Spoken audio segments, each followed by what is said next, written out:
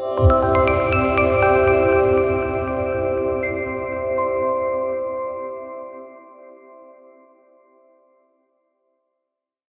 hi, my name is uh, Dr. Shahzad Raza. I'm one of the myeloma expert at the St. Luke Cancer Institute at the University of Missouri, Kansas City.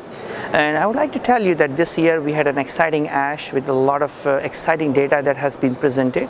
The first of all, I would like to say that upfront treatment of immunotherapy with lenalidomide and dex has shown some exciting results for us. Having taken into this into consideration, so this year we are actually launching a clinical trial at the St. Luke Cancer Institute where we're planning to treat patients with the same sort of immunotherapy, which includes daratumumab, lenalidomide, and dexamethasone, along with standard of care Velcade, which is, I believe, uh, would be an exciting thing because we already have RVD as a standard of care treatment for our upfront treatment of multiple myeloma. Incorporating immunotherapy to the upfront treatment would be the next challenge, and I believe that would be the groundbreaking if these things worked out.